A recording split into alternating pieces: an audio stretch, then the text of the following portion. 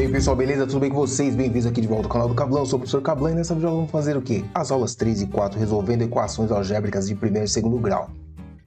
Caderno Aprender Sempre, volume 2, terceira série do ensino médio, objetivos da aula, olha quanta coisa, hein? Calcular a raiz de uma equação algébrica do primeiro grau, resolver problemas que possam ser representados pelas equações algébricas do primeiro grau, situações diversas, reconhecer equações de segundo grau, associar o valor obtido pelo discriminante em equações algébricas de segundo grau com quantidade de raiz, aplicar a fórmula de Bhaskara, para resolver a equação algébrica do segundo grau. Se você ainda não é inscrito, eu te peço encarecidamente que se inscreva no canal, ative as notificações e se o vídeo te ajudar, você deixa o joinha para te ajudar, né?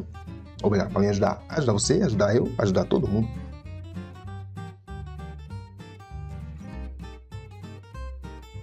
Escreva as equações algébricas de primeiro grau que representam as situações abaixo e responda o que se pede. Luísa é seis anos mais velha que sua irmã Júlia.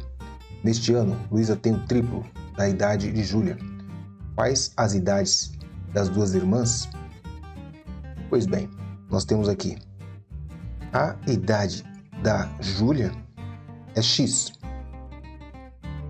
E a idade da Luísa. Nesse dia, Luísa tem o triplo da idade de Júlia. Quais são as idades das duas irmãs? Luísa é seis anos mais velha que sua irmã.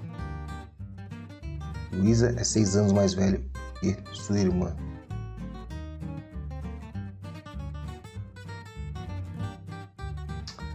Neste ano, Luísa tem o triplo da idade de Júlia. Então, Luísa, ou seja, o triplo da idade de Júlia. Júlia tem X, Júlia tem X, certo? Beleza. Então, 3 vezes a idade da Júlia é igual à idade da Júlia mais 6. Né? Aqui, ó. Luísa é 6 anos mais velha que sua irmã. Neste ano, Luísa tem o triplo da idade da Júlia.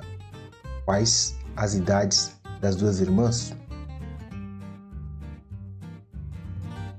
6 anos mais velha que Júlia, tá?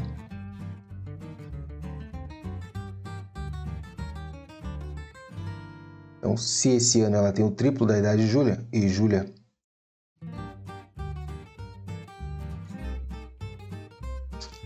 hum, Aqui, caramba, velho.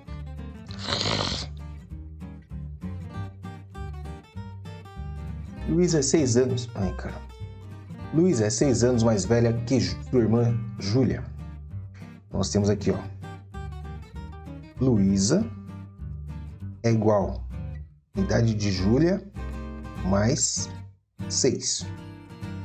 Não sei nenhuma nem outra, só sei que uma é 6 anos mais velha que a outra. Beleza. Neste ano, Luísa tem o triplo. O triplo da idade de Júlia. Então, neste ano, 3 vezes y tá? é igual a x. Então, neste ano, Luísa tem o triplo da idade de Júlia. Então, nós temos aqui um sisteminha aqui e vai virar uma equação do primeiro grau. Ó. Só eu substituir a incógnita y ali, ó. Substituir ali na primeira. No lugar do x eu vou colocar 3y, que é igual a y mais 6.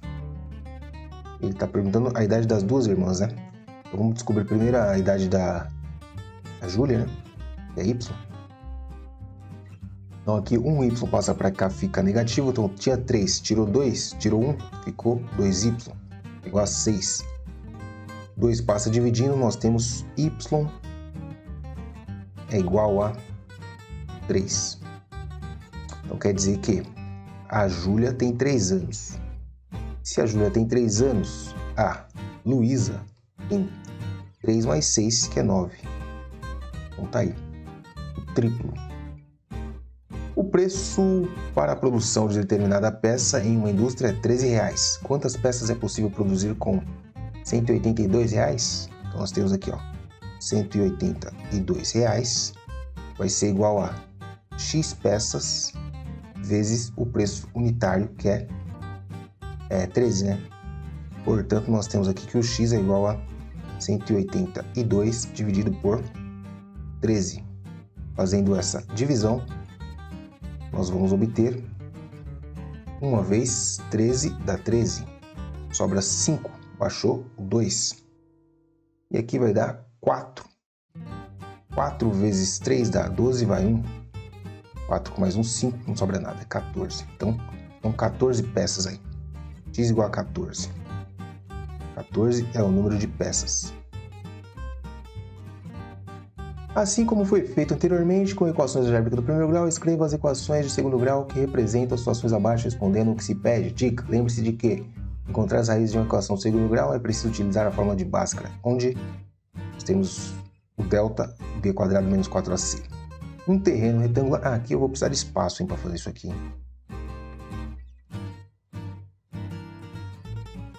Um terreno retangular de área 507 metros quadrados tem uma medida de seus lados o triplo da medida do outro. Um terreno é, retangular, aqui retangular, nós temos aqui mede x, aqui vai medir 3x.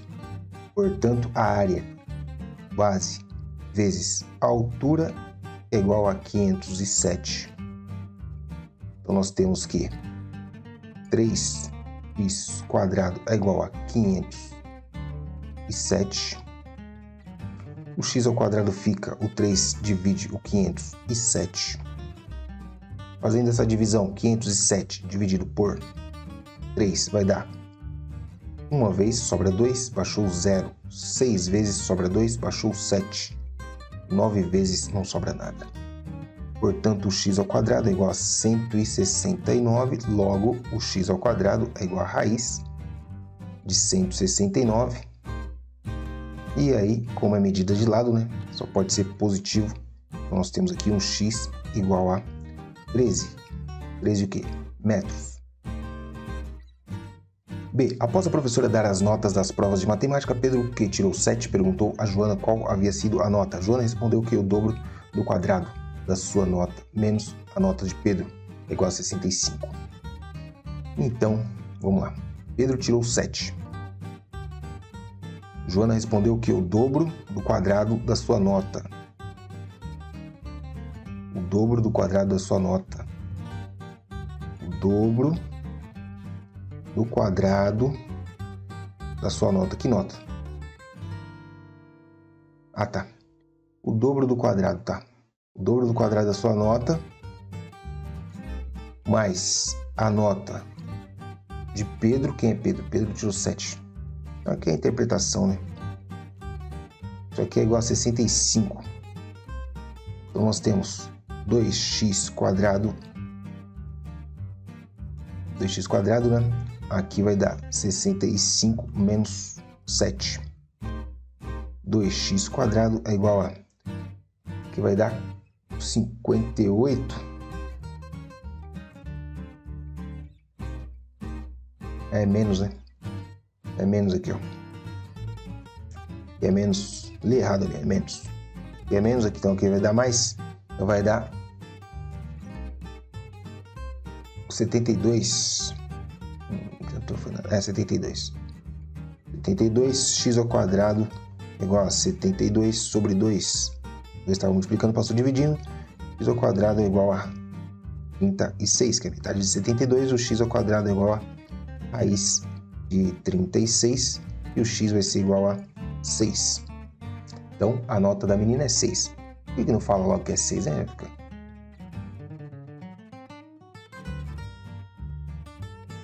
A avó de Lucas lhe deu dinheiro em seu aniversário e o menino decidiu comemorar com seus amigos no cinema. Ele gastou um terço do que ganhou no ingresso e mais 30 reais em lanches.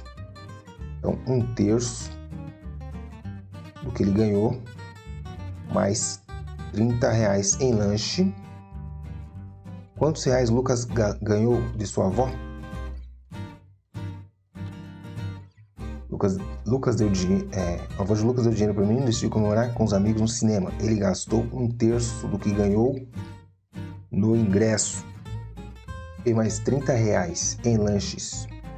Quantos reais Lucas ganhou de sua avó? Sei lá, mano. Oxi.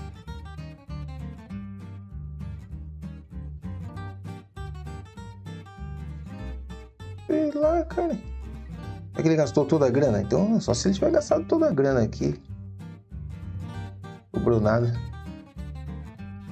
Entendi, foi nada. Ah, tá.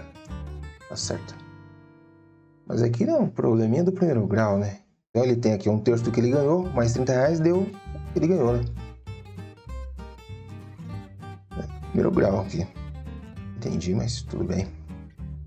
Então ficou como ali, ó. 1 um menos 1 um terço vai dar 2 terços. 2 terços de x é igual a menos 30. Não, menos 30 não, peraí. É igual a 30. A 30 positivo. 2x é igual a 3 vezes 30. 2x é igual a 90. Logo, x é igual a 90 dividido por 2. Isso aqui vai dar 45 reais foi o que ele ganhou da avó. 45 reais.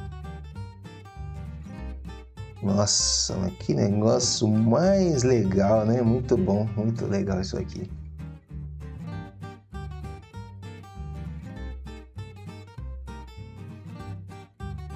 Agora que você já relembrou a fórmula de Bhaskara, vamos... Eu nem usei a fórmula de Bhaskara, né? Vamos olhar com mais detalhes para o significado do valor do discriminante. Preencha três primeiras... Tá. Bom, só olhar aqui, ó. 7. O B é 3. C é 4. Calcular o delta. Eu tenho que pegar o B quadrado. Ai, meu Deus do céu. Pegar aqui B quadrado menos 4AC. 4AC, nossa. B quadrado é 9. Menos 4AC vai dar um valor negativo de delta aqui, ó. Eu vou fazer a calculadora aqui. Licença, mano. Tem que aplicar essa fórmula aqui, tá, gente? Ó, essa fórmula aqui, ó. Você pega o valor do B que é 3. 3 ao quadrado dá 9. 9 menos 4 vezes 7 vezes Menos 103, o delta menor que zero. Aqui o A é 2, o B é menos 1 terço. Olha, isso aqui o B é menos 1 terço, não. Porra. Isso aqui o B é zero, não tem o termo o X ali, não tem. Então aqui o C é menos 1 terço. E aqui fica como? 0 menos 4AC. 0 menos 4 vezes 2, 8. Vezes 1 terço vai dar 8 terços. 8 terços é maior que 0. Aqui vai dar 1, né, que é o que está acompanhando x quadrado. Aqui vai dar menos 6 e aqui é, é 19. São os, os coeficientes ali. Ah, número grande vou fazer com calculadora, cara. Sai fora. b ao quadrado, que é 36, menos 4 vezes 1 vezes 19, menos 40. Aliás, aqui eu tenho que fazer a conta, né? Esqueci de colocar ali o resultado. Menos 103 aqui, ó. Aqui é menor que zero. 1, 8, 16. São os coeficientes, ó. Os números estão aqui, ó. Esses números aqui. O A é o que multiplica o x quadrado, o B é o que multiplica o x e o C é o que não tem x. Aí, número grande, vou fazer na calculadora. 64 menos 64 dá zero, né? Que é igual, ó porque 8 vezes 8, 64, menos 4 vezes 16, dá 64, então igual. Aqui, menos 1, menos 5, 0. Aqui vai dar 25, né? b ao quadrado menos 4ac, 4ac é zero, vai dar 25 positivo. Então, maior que zero. Ah, não, faz isso não, cara. Utilizando a fórmula de Bhaskara, encontra as raízes da equação, das equações do item anterior. É, bom, só, da, só das que tem é, delta maior ou igual a zero, tá? Que tem delta negativo não tem raiz, então vou ter que voltar lá e ver. Isso não, puxa. Ó, trampo. Então tem que fazer todas essas, essas coisas aí. Copiar elas aqui primeira ali, 7x quadrado mais 3x mais 4 é igual a zero. A outra, dá para calcular, 2x quadrado menos 1 terço, que é igual a zero. A outra que dá para calcular, essa daqui não. Essa daqui, ó, x ao quadrado mais 8x mais 16, que é igual a zero. E essa última ali, ó, menos x quadrado menos 5x é igual a zero. Prontinho. Calcular essas raízes, essas, essas contas aí. Usando Bhaskara. Eu já tenho o delta já, né? Então vai ficar assim, ó. x é igual a... Tem que pegar o delta aqui também. Essa daqui não tem, essa daqui é negativo, nem adianta fazer. É 8 terços 0,25. 8 terços 0,25. Essa primeira aí nem era para ter copiado. 8 terços 0,25. Essa daqui nem tem. Delta deu negativo. 8 terços 0,25 são as raízes. Calculando aqui. Então aqui, ó. o delta é igual a 8 terços. Essa daqui, o delta é igual a zero. Daqui, o delta é igual a 25. Bom, na primeira aí nós temos x que vai ser igual a menos b. Ah, nem precisa também, né? Nem precisa aqui, eu nem precisava, hein? E aqui não precisa usar o, não precisa usar o delta aqui, pô. Nem precisava fazer isso não. Vamos fazer, velho. Menos B, B não tem. Mais ou menos raiz. Mais ou menos raiz de delta. 8 terços sobre 2. 2A, né? Então aqui vai dar 4. Você vai ter essas raízes aí, ó. Mais ou menos isso daí. Não dá para fazer muita coisa. Então você vai fazer o que? Tirar o 2 de dentro da raiz vai ficar raiz de 3 sobre raiz de 3 sobre 2, raiz de 3 sobre 2, mais ou menos. Pronto. A outra ali, delta deu zero, então vai ser duas raízes iguais, né? O x é igual a menos b, ou menos 8, mais ou menos raiz do delta, é zero, sobre 2a o x vai ser igual a menos 4. Menos 4. E mais? Essa outra ali, ó. x é igual a menos b, então menos, menos 5. Aliás, é, tá certo. Menos menos 5. Mais ou menos raiz de delta, que é 5. Sobre 2a, que é menos 2. Nós teremos 5 menos 5 dá zero. Então x1 é zero. E o x2 vai ser o que? Ó? 10 sobre 2 vai dar. Vai dar 5 positivo, né? 5 positivo.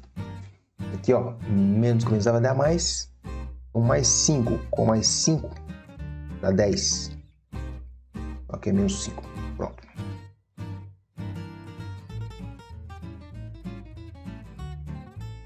Com base nos cálculos feitos no item B, complete o quadro a seguir com os números número de raízes reais que cada equação possui. Aqui, nenhuma. Zero, nenhuma. Aqui possui uma. Uma não, duas, né? Possui duas. Aqui, nenhuma. Aqui possui duas. Deixa eu ver aqui, eu tenho que, eu tenho que analisar aqui. Ali nós temos uma raiz, 18 ali, uma raiz. Delta deu zero, né? Uma raiz. Nós tem duas. Duas. Aqui nenhuma. E aqui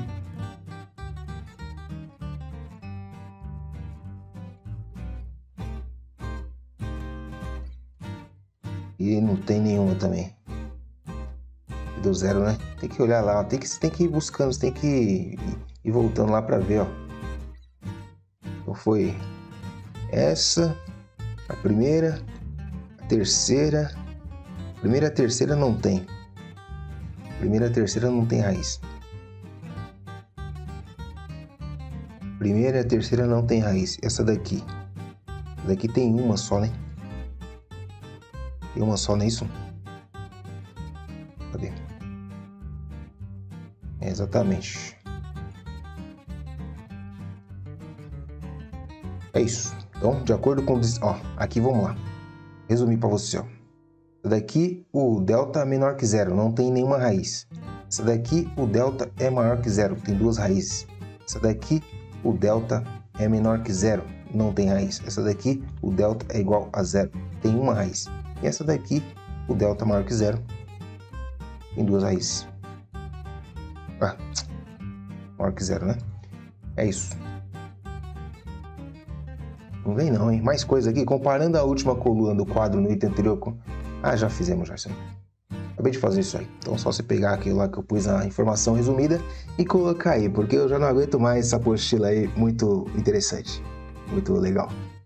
Vejo vocês no próximo vídeo aí. Tamo junto, é nóis. Falou. E aí, amiguinho, gostou do vídeo? Se você gostou, se você curtiu, quer aprender muito mais, se inscreve no canal, ativa as notificações e deixa o seu like. Também segue o professor lá no arroba tá certo? Ajuda o Pro. É nóis, tamo junto, até a próxima.